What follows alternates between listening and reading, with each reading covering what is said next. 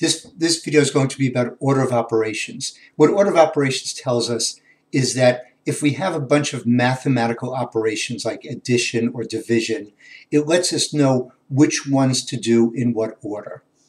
So the rules for uh, order of operations tell us that if we have anything inside parentheses, we have to deal with those first. So anything that we see enclosed in parentheses or square brackets or curly braces, I'm not drawing these very well, we would do whatever's inside of these first, and then we would go on to some of the other parts. After we do parentheses, we can we go on and deal with exponents.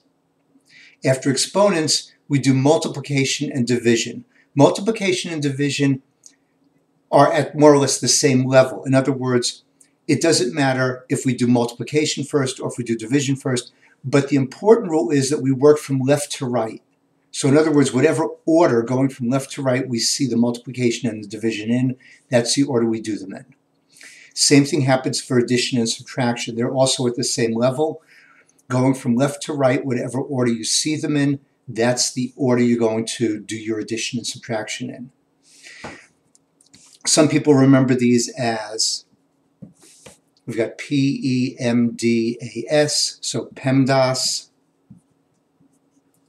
Other people, you may have heard this, think of this as please excuse my dear Aunt Sally. However you remember them, it doesn't really matter. If you think up something really interesting to do with these letters, that'd be fine too. So let's look at some problems and see how we apply the order of operations to them. Okay, here we've got two different situations. They look pretty much alike, but they're not exactly the same. So the order of operations, let's just write in PEMDAS at the top of the page here. What the order of operations tells us is first we look and see if there are parentheses, which we have, and we do whatever is called for inside the parentheses. So this tells us we have to add these two numbers together. So I'll have 3 times 4 plus 3 is 7. There's nothing, there's no more parentheses to deal with. There's just a 7 here, and I can't do anything with the 7 by itself. And then, oops, and then what my order of operations tells me to do is look for exponents, which I have. So I'm going to take 7 and raise it to the second power or square it. So that's going to give me 3 times, and 7 squared is 49. And now the only thing I've got left is multiplication, so I'm going to multiply 3 times 49, and let's see, that's going to give me 147. Okay, let's compare that with this over here. Here we have 3 times the expression 4 plus 3 squared. Well, I've got to, I've got to first look ins inside my parentheses. And inside the parentheses, I have addition, and I also have an exponent. Well, the exponent comes way before addition, so I've got to deal with the exponent first. So I'm going to take and write 3 times 4 plus, and let's see what 3 squared is, would be 9. So I've taken care of my exponent. Now looking at what I have here, I've got parentheses, no more exponents so I can deal with this parentheses. So 4 plus 9 is 13, so I have 3 times 13. Now I'm just dealing with multiplication. 3 times 13 is 39. Here's another one.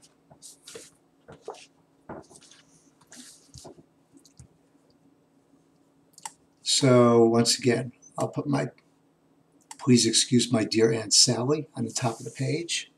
Here I've got these brackets, which are like parentheses, and I've got these rounded parentheses. When you have when you have parentheses within parentheses, you go to the ones that are innermost, that are inside the other parentheses. So this tells me I've got to start here at the 13 minus 6. So I'll have 4. I'm going to write everything else as it is, except for the part I'm dealing with. 4 times 17 minus 2.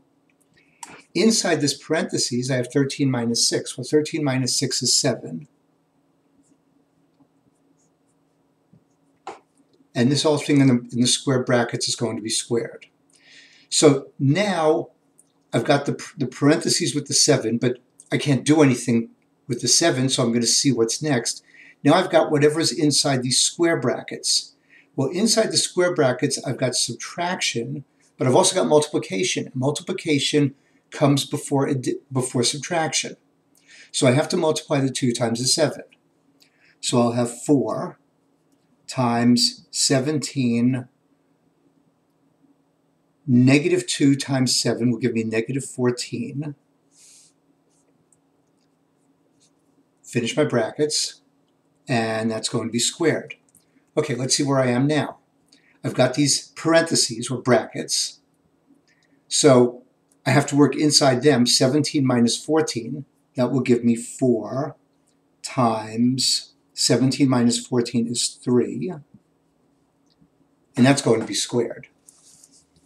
I can't do anything inside the parentheses, so now my next step is to go on to the exponent. So I'll take the 3 and square it. So I'll have 4 times 3 squared is 9. Now the only thing I have left is multiplication. So 4 times 9 is 36. Okay?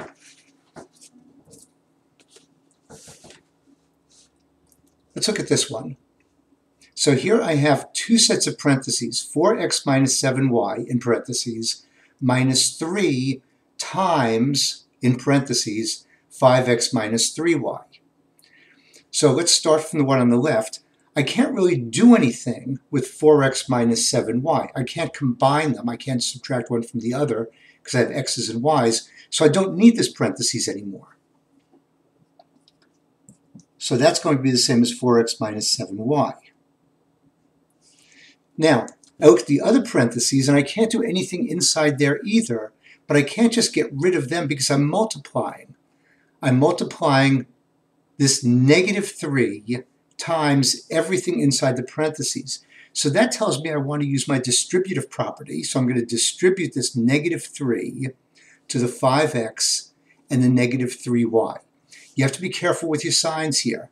So negative 3 times 5x is going to give me negative 15x. I've got a negative 3 times a negative 3y.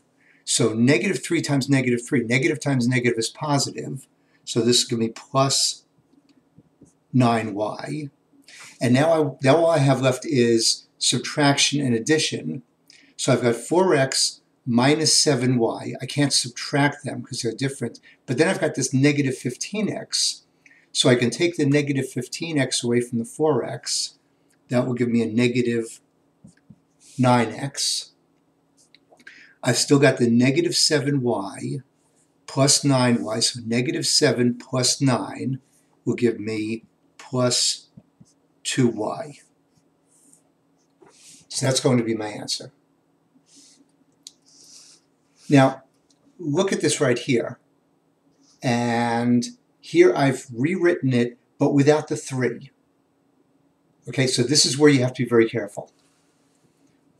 Once again, this first set of parentheses, I don't need the parentheses. Nothing's happened. I can't do anything within the parentheses, and they're basically not doing anything. So 4x minus 7y. Before I take the parentheses away from the second part of, of this expression, I've got this negative here. Think of this when you have a negative and then some parentheses, think of it as a negative 1, if that helps you. So now I'm multiplying negative 1 times 5x minus 3y. Distributing that, I'm going to get negative 5x. Distributing negative 1 times negative 3y, I'll get plus 3y. You've really got to be careful when you have negatives. Watch out for your signs. And now I've got addition and subtraction. So I've got a 4x minus 7y. I can't do anything with them. But 4x minus 5x will give me negative 1x or just negative x. And negative 7y plus 3y will give me negative 4y, and that's going to be my answer. Okay, that's about it for now. Take care. I'll see you next time.